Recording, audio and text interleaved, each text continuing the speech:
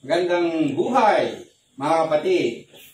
Ito na naman, Wednesday prayer meeting. Kumusta na kayo? Tayong lahat nasa stay-at-home mode. Pero kailangan natin magpatuloy sa ating uh, buhay at paglilingkod sa ating Panginoong Diyos. At pwede tayo magsama-sama bilang magkakapatid uh, sa prayer even though tayo ay uh, nasa kanya-kanyang bahay. Salamat uli sa social media. We can be together. Now, uh, kanina, kami dito, okay naman, nag-zumba-zumba para kahit nasa bahay lang, eh, masaya pa rin.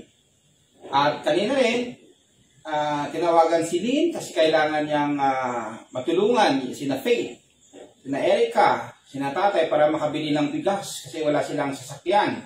Wala nang sasakyan dito. Eh, pag uh, balik ni Lynn, kailangan niyang magmaligo, mag-disinfect. So, uh, ito yung mga dapat natin gawin, mga mga uh, ways para hindi tayo mahawa ng uh, virus. Yung uh, staying at home actually sa history ng mga outbreak ng epidemic, ng pandemic, yung mga nasa bahay, bahay lang, sila yung usually naliligtas, hindi sila namamatay. Yung mga matigas ng ulo, uh, talagang uh, sila mas mas prone na mahawa ng uh, sakit. Kaya mga kapatid, stay at home tayo, pero let's be prayerful. Now, sina Noah and his family, paano kaya yung nagstay at home sila ng matagal? Kasama nila mga hayop. Ha? Nandun lang sila sa loob. But they follow the Lord and they worship Him. Yung mga Israelites din, nagstay at home sila nung nandun sila sa Egypt during the Passover at iniligtas sila ng Panginoong Diyos. Now, si Paul, iba naman yung uh, kanyang karanasan siya ay uh, nabilanggo. Siya ay uh, nasa prison. Pero kahit nandun siya, nagsulat siya sa mga Christians and pinagpray niya ang mga Christians. At yung prayer ni Paul, ang titingnan natin ngayon sa Ephesians. And itong prayer ni Paul eh para sa atin din sa time na ito. Whether uh, anong sitwasyon natin, uh, yung Bible na isulat man noon, eh meron pa rin implikasyon, mensahe sa atin ngayon. Now, sa Ephesians 3.12, sabi ni Paul, dahil nakipag-isa na tayo kay Christ nung nagkaroon tayo ng faith sa Kanya, confident na tayo at hindi natatakot lumapit sa Diyos. Pwede na tayong lumapit sa Diyos dahil meron tayong relasyon sa Diyos. Dahil dito, dahil dito sa relasyon, sabi ni Paul, nakaluhod akong nagpe-pray sa Ama. Right? Hindi lang basta nag-pray siya, nakaluhod na nagpe-pray sa Ama. At yung kanyang uh, mga prayer points, mga kapatid, para sa Ephesian Christians, eh ito rin po yung aking uh, mga prayer points para sa inyong lahat, mga minamahal na members ng Emmanuel Christian Church. Una, prayer that you may be strong in your inner being. Kailangan natin yung kalakasan, hindi lang po yung exercise habang kami nagsusumba kanina, si Renz nagdadampel, uh, nagpapalakas ng kanyang katawan. Right? Kailangan natin yon concern yung, yung physical strength. Pero sa time ngayon, na meron tayong malaking challenge, hamon na hina, hinaharap, kailangan natin malakas yung ating loob. Sabi ni Paul, pinagpe-pray ko sa Diyos ayon sa kayamanan at karangalan niya, na palakasin niya ang loob nyo at bigyan niya kayo ng kapangyarihan sa tulong ng Espiritu. So yung pagpapalakas sa ating kalooban, sa ating loob, yung sa English is inner being, ang magpapalakas mga kapatid ay sa tulong ng Holy Spirit. Sa sarili natin, pwedeng mahina tayo. Pero in times like this, we need the help, the work of the Holy Spirit. Ay mga kapatid, nawa sa tulong ng Holy Spirit, eh, palakasin niya ang inyong mga loob. Ang aking loob. Ang loob ng aking, uh, bawat isang members ng aking family at ganun din sa bawat members ng iyong family. Palakasin kayo ng ating Panginoong Diyos. In your inner being. Now, may isang uh, nakita ko about prayer for inner strength. Sabi dito, Dear God, please give me the strength to endure this situation and to find the blessings and lessons that it contains. Please give me the endurance to continue ahead. Please guide my thoughts, words, and actions so that I walk your path of peace and love. Now, sabi rin ni Paul sa Philippians 4.13, I can do everything through Christ who gives me strength every time na binabanggit ni Paul yung strength, hindi ito nagmumula sa kanyang sarili, kundi in Christ or through the Holy Spirit. Meaning, ang Diyos talaga ang inaasahan natin na magpapalakas sa bawat isa sa sitwasyon natin ngayon. Now, this too shall pass ano man yung COVID-19 or anumang hinaharap mo na problem ngayon, this too will pass. Uh, hamo ito sa isang uh, uh, isinulat. Ang title ng libro ay uh, uh, ang The Greatest Salesman. Uh, meron yan. Ang ibig sabihin nun, sa kanyang sinulat, even happiness ngayon, pwedeng lilipas. Kahit yung pain and suffering, eh, lilipas din yan. So ano mga challenges, mga problems, lilipas din yan. And especially tayo na mga Christians, dapat positive yung perspective natin. Lilipas din. Pagsubok lang ang mga ito na ating hinaharap. Ha? Ang pagsubok, hindi kumakain ng bigas. Tayo, Pinoy tayo, kumakain ng bigas. Dilipas din yan, yung mga pagsubok na to. Not by our own capacity. Strength. By the strength of God. By the grace of God. By the help of God. Lalampasin din, lalampasan din natin ang mga ito. Ay mga kapatid, yan po yung unang prayer ko sa inyo inner strength. Pangalawa, prayer that you will not doubt the love of God. Marahil may mga ibang mag nagtatanong ngayon, Lord, mahal niyo ba kami? Especially yung mga family na victims or even itong mga doctors, kanilang mga pamilya na namatay, namatayan. Maybe nagdadoubt sila, Lord, mahal niyo ba kami?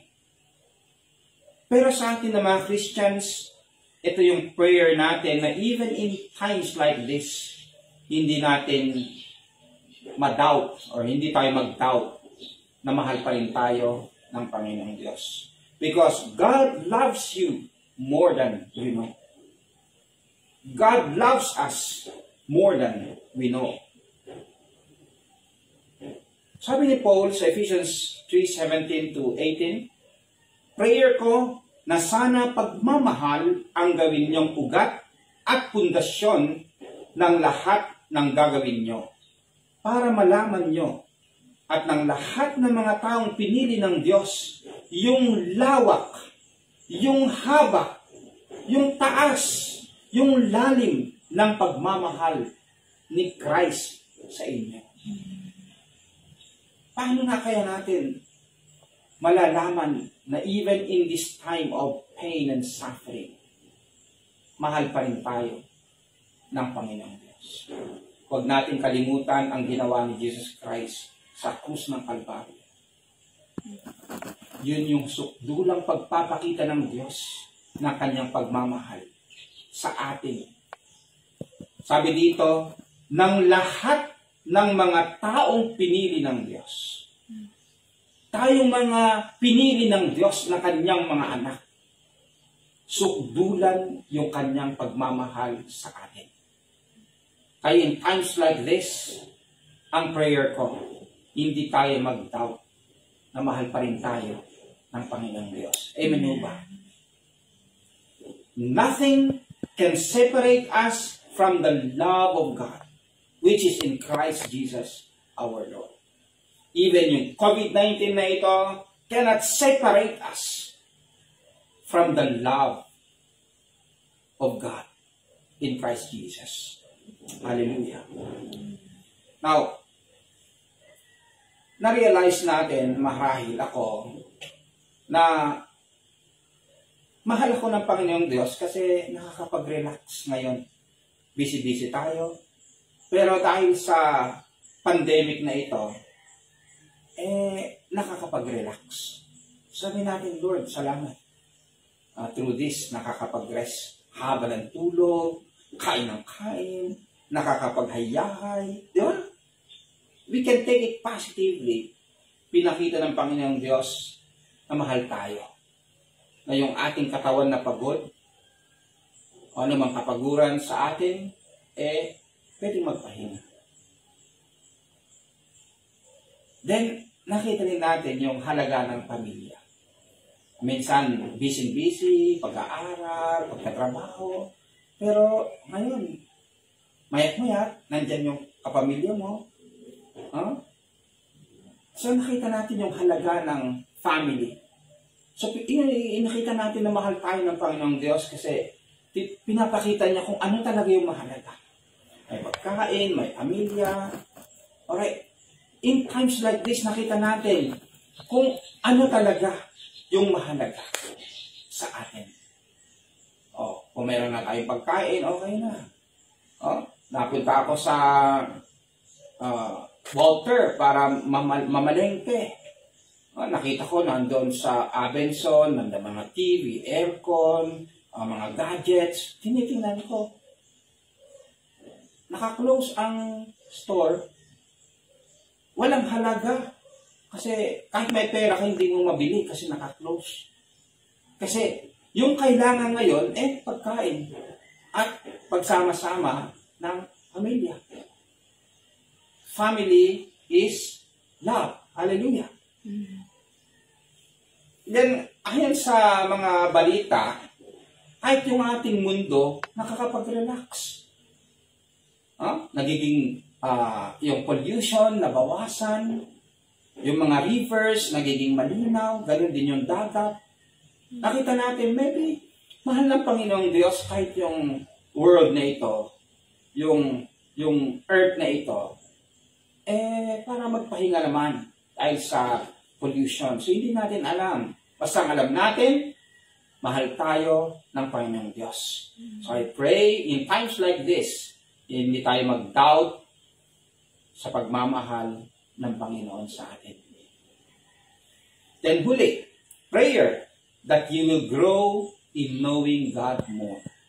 Nagpapakilala ang Panginoon sa atin kung sino siya in times like this. He is revealing Himself kung sino siya.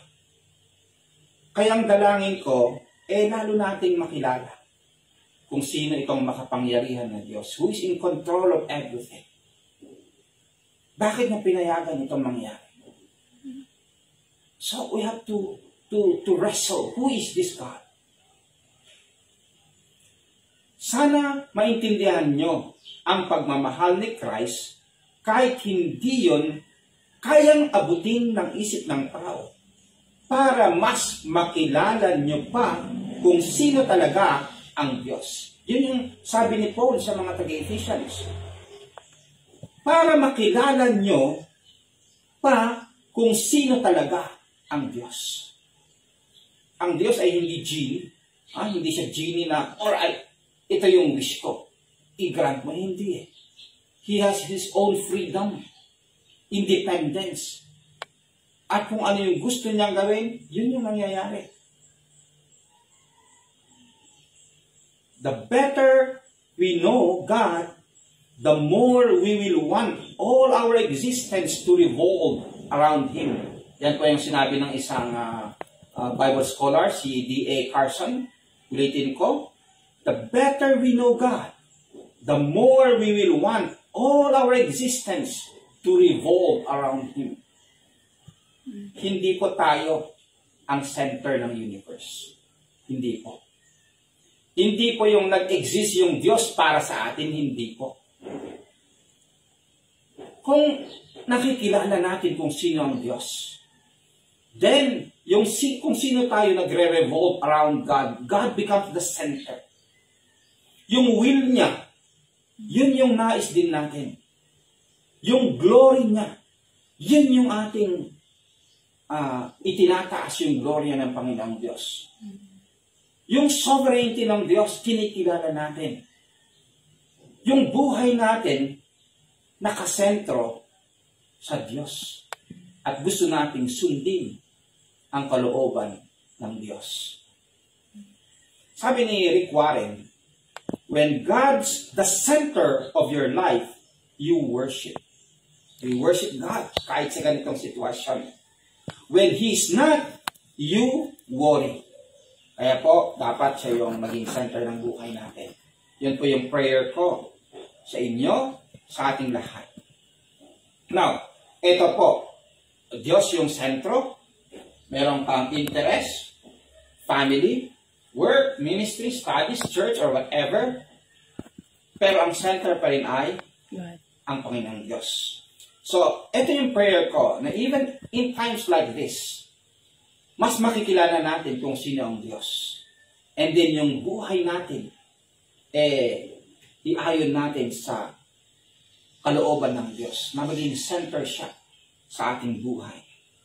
Now, may the Holy Spirit strengthen you, assure you of God's love, and help you grow in knowing Him more in the midst of the challenges we are facing. Yan po yung aking uh, prayer. Strength sa inyo. You will not doubt God's love. You will know more about God. Through Christ Jesus, by His Holy Spirit. Now, yung ibang tao also, we need to pray for them. Uh, kailangan din nila yung inner strength. Kailangan din nila yung assurance ng pagmamahal ng Diyos in times like this. And kailangan din nilang mag-grow sa pagkakilala sa Diyos. Kanina nag-text yung uh, uh, nanay ng uh, uh, family na taga Bangladesh na nasa PTS uh, sila pong mag-asawa ay nag-aaral uh, mag-aaral ng Bible at theology and then meron silang dalawang anak na nag-aaral din sa uh, elementary and high school. Yung text nila eh nandoon yung parang nanginginig, natatakot, nagdadoubt sa Panginoong Diyos. Ganito po ang kanilang text mamamatay na ba kami ngayon? Grabe yung aming pangarap noon. Ah, magga-graduation na, gagraduate na kami, and then very soon, few months, eh uuwi kami sa Bangladesh. May mga gagandang plans. Pero, mamamatay na kaya kami? Yun po yung kanilang text. Eh naramdaman ko yung fear nila. Yung anxiety. Yung worry. And then, nagtatanong sila kung ano ang plano ng Panginoong Diyos. Pumunta sila dito para mamatay? O may, balak pang Panginoon para sa kanila, sa kanilang pagbabalik. So mamaya gusto kong uh, uh, mag-text sa kanila para mapalakas ang kanilang loob. And then magkaroon sila ng assurance na mahal sila ng Diyos at may plano ng Diyos sa kanila. Na mas makikilala pa nila. Meron silang testimony later on. May mga katulad nila na kailangan nila ang ating prayers. Yung mga na sabak ngayon, yung mga doctors, yung mga nurses, and others na sumusuport, inaamin nila na natatakot sila. Kailangan nila ang prayers natin. Meron din yung mga na, ibang nasa front lines, mga police, eh, we, they need their, our prayers. Yung mga may sakit ngayon, natatakot sila. Nawa, God will meet them sa ngayon. And we, we, we pray for them na magpakilala ang Panginoong Diyos sa kanila. At kung ano pa yung pwede natin ipagpe-pray, please pray. Magpe-pray ako, I'm going to pray for you. And after this, eh, ituloy niyo po as a family na ipag-pray natin yung mga nangangailangan ng ating prayers. Aming Ama na nasa langit, salamat po sa inyong mga salita. In times like this, kayo po ang nagpapalakas sa amin. Kaya ito yung prayer ko sa mga members ng Emmanuel Christian Church that you strengthen them, Lord, in their inner being. Sa kanilang loob, Panginoon. Ano man sa kanila, sino man sa kanila ang nanghihina, uh, nagdadoubt, Panginoon, I pray that you strengthen them, strengthen them, Lord. At hindi sila magdadoubt sa inyong pagmamahal sa kanila. Mahal na mahal po ninyo sila, Panginoon. Mahal na mahal po ninyo kami, Panginoon. Binigay po ninyo si Jesus Christ para sa amin. And nothing can separate us from your love, Panginoon. Please assure this as Lord in our hearts sa ngayon through the Holy Spirit na maranasan namin, maramdaman namin na mahal po ninyo kami even in times like this, Panginoon. Yan dalangin din namin, Panginoon, na lalo namin makilala kayo. At pakilala po kayo, Panginoon, sa amin. As we reflect, as we read your word, Panginoon, as we pray, nawa mag-grow kami, Panginoon, sa pagkakilala sa inyo. At magpasakop kami sa inyo. Sumunod kami sa inyo, Panginoon. Itinadalangin namin, Panginoon, na after all of this, Panginoon, we will come out victorious. We'll continue, Panginoon, to testify of your greatness, of your goodness sa iba, Panginoon. Pinadalangin ko rin, Panginoon, yung mga kapatiran sa Emmanuel Christian Church. That they will continue to be prayerful, Panginoon, sa mga nangailangan, especially sa ngayon, Panginoon. In Jesus' name we pray. Amen. Amen. Mga kapatid, ituloy po natin sa pananalangin. Uh, katulad sinabi ko kanina, alalahanin po natin yung mga nangailangan ng ating prayers in times like this. God bless everyone.